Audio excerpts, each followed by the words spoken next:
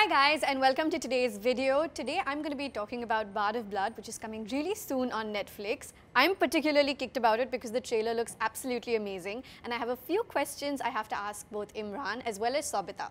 So let's dive right into this. Hi Emraan. Hi. Hi Sobhita. Thank you for coming onto my channel. Pleasure. My first question to you I think has to be something that you may have seen coming. You launched the book I think a few years ago. That's right. What were your thoughts about the book? Did you read it? Was it did you expect that you would be doing a web series at some point based on it? No, um, I launched the book with Bilal in Mumbai in 2015, and that was roughly the time when Bilal and uh, me were writing uh, my book, Kiss of Life. He had already completed Bard of Blood, which was his first book, and we launched it. And there was a journalist in the audience who had asked a question, um, you know, if this was adapted into a film, because that time Netflix hadn't come to India. And I said, of course. And I just joked and saying that only if there's a kiss in it, I'll do it. But uh, I think post that in 20, I think it was 18 or 2017, I heard the, the, the uh, there was a launch and uh, Netflix. Red Chilies had come on board, and I was very happy for Bilal because I'd read the book back then, and I was like, God, this is a real page turner. This makes uh, a fantastic film, and even better, an original series because if you're making it into a film, you have to really compress and truncate a lot of things, and you know, delete characters and you know moments from the and nuances from the book. But here we'd actually had to add stuff because there was more stuff than the book. Yeah. Characters were added. Obviously, the end is has been changed. It's very different from the end of the book. The characters of Isha, um, Kabir, and Veer have been dramatized. Yeah, the essence of the book and pretty much the plot is the same. But yeah, I was um, pretty happy that um, I was considered, and you know, we, we went ahead with the series. That's so nice. So those of you who have read the book by Bilal Siddiqui should probably stay tuned because it is not the same clearly. The ending has been changed. It has been changed, yeah. The thing is, with a show, you have to have. It's like a great interval point when you have in a film. You know, the, the lights come on, and you you're waiting to go back into the cinema hall to know what happens the next Yeah. uh, half of the film. Every episode ends on a like a cliffhanger moment or like a hook point, which will have you, uh, you know, coming back for more.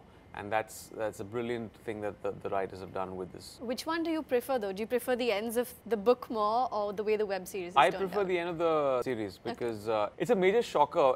You know, I, I remember reading it uh, a, a year back when it was adapted into the screenplay for our series, and I called up Bilal. I was like, God, and I was screaming on the phone, man, you guys have like outdone yourselves. What an end for the series. So I, I was I was very very happy with it. What can you tell us about your character, about Kabir? I mean, it's as the promo uh, states, but without revealing too much. He is at you know when you catch him in the show at a point in his life and he's just picked he's picking up the pieces. He's he's been expelled from his agency five years back. He was a spy. So you catch him in the beginning where you see him that he's he's teaching Shakespeare. He's teaching literature in a school in Mumbai. Very unassuming. Uh, a normal guy, you know, uh, middle class, lives in a small middle class home, and slowly start revealing things about him that he was an expelled spy and he's a dangerous man, he's a killer. And you don't expect that when you see him at the first glance. The Kabir you see in the first episode of this well adjusted guy who is dealing with these.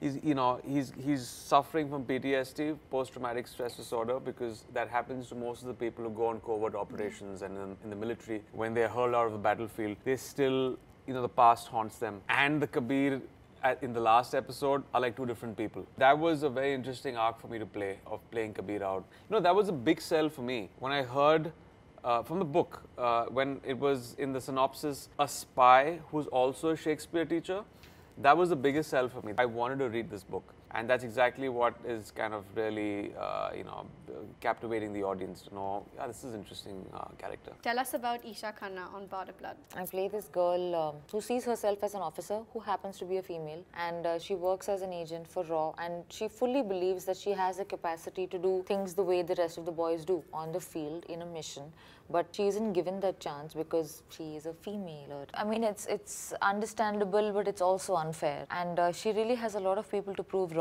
before her her merits are even assessed fairly. She's on this mission with um, Kabir, played by Emraan, Veer, played by Vineet, in Balochistan, Afghan, that whole, all, that whole terrain, to sort of rescue four Indian agents who've been held hostage. There's a certain naivety, a certain newness, because uh, she really tries so hard to belong to that world and she has to prove to these people that she can do it. Because for the longest time, she was not given a chance. The truth is, she's also very scared, but she does not have the space or the freedom to be afraid. So it was it was very nice playing that. Your spy code name is, am I, if I'm pronouncing it correctly, Adonis. Adonis. Adonis. What is the story behind that? Because that's a really unusual name. It is a is an unusual code. name. I have not asked Bilal why that name and why he deserves that name. The reference of Adonis i- is is only in the first few scenes where Isha's character, played by Sobhita, speaks about the legend of uh, Adonis in the firm. Okay. That there was this guy who was uh, this super spy who was really good at his job. He was a hostage rescue specialist, but then his reputation had been tarnished. He had been thrown out. He had done something terribly wrong. That you discover through the show. That's the time when you hear about Adonis. And the first time he says, uh, my mentor says, this is his real name, Kabir Anand. And he's, you know, he's kind of living in the shadows right now in Mumbai. Is in the first episode itself. So yeah, there's a, there's a, there's a bit of that enigma around the character. So most of your story is based in and supposed to be around Balochistan, which Yeah. right now in the subcontinent of politics is a little bit, you know, people can be slightly hesitant to play something in that area at Yeah. the moment. Did you have any hesitation while taking it on, especially right now? Not really, because you know our book is um has been written back in 2014. 2013 is when the idea came to Bilal, and he released it in 2015. So the political sentiment, uh, the environment was very different at that point of time. It's a work of fiction. Um, yes, when you have a film of this uh, original series of this nature, and when you pit these two nations. And you get references of rebels in Balochistan. It definitely emotions do run high, mostly on both sides of India and Pakistan. But people have to understand, like we had like tremendous amount of, you know, there was, you know, trolling uh, uh, to a certain extent on the second day. But people have to understand there's is nothing close to propaganda here because this film is a, a work of fiction. Yeah. There are references to yes uh, to spies and how the relations are between these two countries, but. I mean, when people see the show, they will realize that, uh, yeah, it's just purely to entertain the audiences. I'm 100% with you on that. I hope it gets taken and does Yeah. well in the but, same but, but spirit. here's the thing people really assume things when they see a- Yeah. a, a two minute capsule right Yeah. people assume that there's something in the show that is going to kind of really you know uh, you know hurt their um, feelings and so that's that's a little tricky but i think you got to wait for the show and people will know that it's just for entertainment There's two things to it. I'll tell you both things. Okay. One, um, this book was written much before Right. before any um, social civil discomfort ar- arose. I'll talk about the other thing actually. I think I feel for it more. Say this is year 1523. Any time in history, all art, be it literature, painting, music, dance, uh, with so their own that time's version of theatre, plays, they all represented what was happening on the streets at that time. Right. They reflected what was happening in the society. Paintings, you see how a king looked or what their customs were. We decode these things through literature. So at some level, whatever was happening on the streets is what was reflected. So as actors, um, I feel like I want to represent the dilemmas and the conflicts of my time. This show is not about that. This is my personal take on it. Right. I want to tell stories. I'm not burdening myself with the responsibility that I have to hold the flag of society because I'm not a teacher. I'm an actor. I'm telling stories, but stories that that have something to do with reality interest me immensely. But yeah, this this show is is a, is a work of fiction, and he wrote it a few years ago when none of this really was in the forefront. And I have no reluctance. If anything, I'm even more curious. And these are matters that, you know, like this whole spy, Taliban, uh, grime, and all of this is something we see in movies in a very fantastical, larger than life way, or we see it in, in books or news. But it's so distant, it's still so far. We forget that these are still people who get hungry, who sweat, who pee, who probably haven't showered in a while and are feeling gross about it. Right. Um, they are beating hearts on a battlefield and they are scared. So to be able to play a character who's going through these situations made me curious. Was there anything that you really resonated with about the character? Was there anything you identified with yourself in, like, in real life, as we say? I think the fact that you can't really wear your fears on your sleeve because there are a hundred people out there already, like all non-believers. You're a non-starter to them. So to have to really go through the grind alone in your own head, and then to win their trust, that whole, you know, it's like not being given a fair trial in general is something I I understand. It must have been hard to also shoot a lot of the sequences from the web series, right? Because it's very different from from what you've played recently, from what you've played before. every character I've played so far, they're all actually very, uh, very different from each other.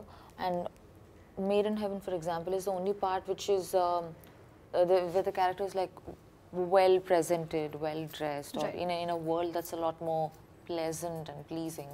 But that's also because such is the context of the story. It's not just a dressed up thing for no yeah. reason. Um, prior to that, every film or every project I've done or I've been a part of, they have all been experimental or niche. I really like playing ordinary people in extraordinary circumstances. I, I, I am very interested in the average. I am not eager to be a hero.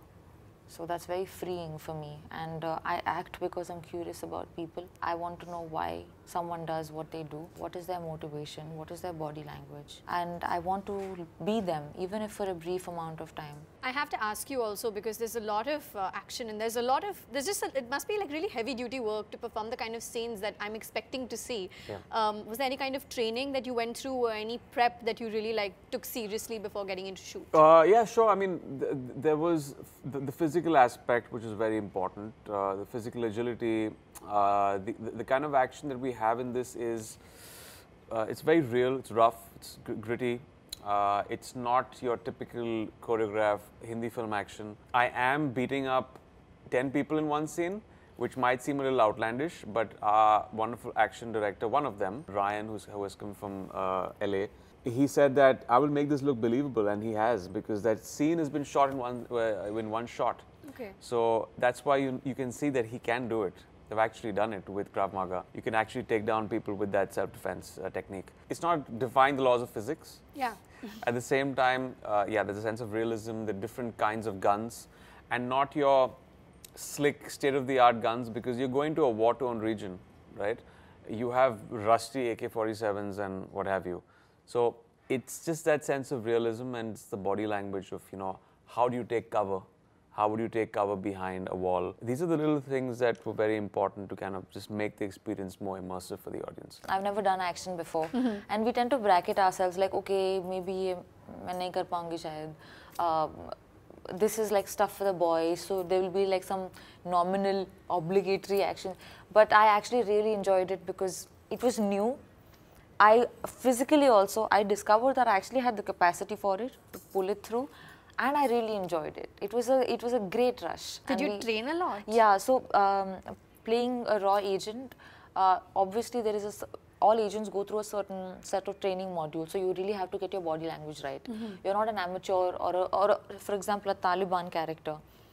There are people who source guns and who use them the way they see right. Right. But an agent is trained Right. and they can't really get the body language wrong. There's more finesse. Yeah, and there's protocols, how you move. If there's two people coming versus three people versus solo versus group versus you're going in a group versus right side versus door left opens. So it's different. So an understanding only when you know the basics and the rules can you improvise. So we had training before we left for shoot, and I really enjoyed it. And uh, I felt like, oh, I'm a cool soldier now.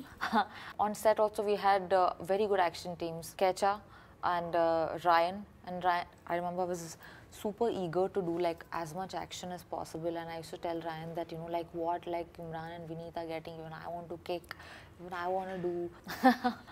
and uh, he said something which really stayed with me. He said, "Slow is smooth, smooth is fast." Ooh. So that really made a lot of sense. When you're like, when you're smooth with what you do, even if you do little, it's still much more sharp. So I really enjoyed the action part, and and also it's action that I'm doing, not not an overly stylized mm-hmm. action. This is a woman who is new to the field and who's consumed and wanting to prove her mettle in a burqa in insane situations or in a Baluchi dress with a rusted AK 47 running on the field for her life. There is a lot of emotional undertones which really give it that gravity. So I feel very, very delighted and fortunate that I got to play it with so much thrill. You've painted quite a picture in my head right now, so I feel like. Sorry, it's just No, it's I'm very. I'm very transported. I've just had coffee also. So, yeah. No, I think it's great. You've painted a lovely picture in my head, and I can't wait to see how it turns out. I haven't watched screen. anything, so I'm very excited also. So I always end my interviews with a fun game. Okay. And I'm going to ask you three questions. Now, I wish we could do something a little more in line with the show, but we can't be killing people here. That's not possible. Oh, that's not possible. Uh, um, I'm going to ask you three games, and hopefully you'll kill it with the answers. Okay. Considering you and Sobhita spent a lot of time on set working on this web series, Mm-hmm. these three questions are going to be about how well you've been able to spy on her. On her, okay. Kind of trying to being in theme here. Okay. Um, I was always, always looking over her food when she was eating. So yeah, I don't know if that kind of uh, classifies See, now you've got me that you've said food. Yeah, Like now even yeah. I'm going to be keeping an eye out for what she eats. So I'm going to ask you three questions. Okay. And you have to try to answer them hopefully correctly. Okay.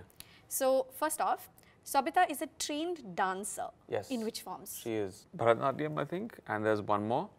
I forget the name. It's just a very comp. Yeah, there, I can't even pronounce it. That's it. That's the one. Bharatanatyam and Kuchipudi. We'll give you Yeah. half a point for that. All right, half a point it is. Before Emraan started acting, he was an AD for a film. Ah. Which film was it? Oh. Is it an Aftab Shivdasani film? No. I know he was an AD for a film. Ah, we spoke I'll about. tell you. Does it start with start with A? No. Or V? No. It's Raaz. Let me like get you out of your He was an. AD on Raaz. Raaz. Oh. Oh. Which pageant did Sobhita represent India in? Yeah, wasn't it the Fe- Femina Miss India? No, that was in India. Yeah. What did she represent India in?